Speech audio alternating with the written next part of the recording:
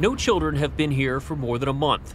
Over the past two weeks, 10 investigates watched as equipment and office furniture were removed from this once embattled behavioral treatment center for teens. Sequel Pomegranate, which rebranded itself as Torrey earlier this year, notified the state last month it planned to close its psychiatric hospital and voluntarily relinquish all of its licenses.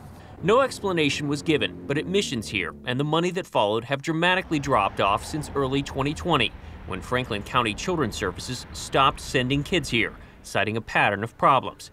That move followed months of our reporting, which documented incidents of violence and abuse and stories from parents and children who expressed concern about how children were treated and restrained. Do you think about the time you spent there? You think about it a lot? Not anymore. No. I hate that place. Another child we interviewed described how injections were given to some unruly kids to sedate them. Like they'll lay you over on your side and then they'll like give it to your thigh. That's why they call it the booty juice. And what does it do to the kids who get it? They go to like they just basically they'd be like we're gonna like basically like we're gonna knock you out with the booty juice and then go straight to sleep. Problems at other treatment centers operated by the parent company Sequel Youth and Family Services have led to closures at facilities in states like Utah, Wyoming, Illinois, and Michigan. But 10 Investigates has learned Sequel co founder Jay Ripley has started a new venture called Vivant Behavioral Healthcare, which, according to this investment group website, plans to buy back a majority of Sequel Youth and Family Services properties. We found Vivant has filed business licenses to operate in at least three states Arizona, Alabama, and Kansas. I called Ripley this week curious about if there are any future plans in Ohio, but haven't heard back.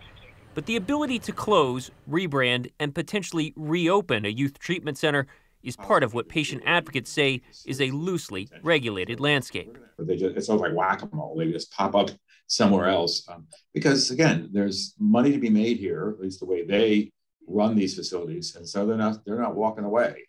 They'll try to put you know lipstick on a pig maybe by you know changing the name or doing some kind of corporate you know sleight of hand but uh, these these they make too much money to just walk away completely.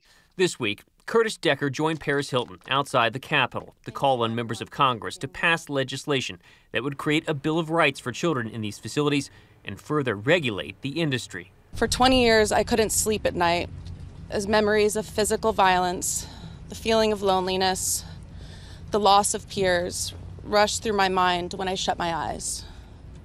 This was not just insomnia, it was trauma.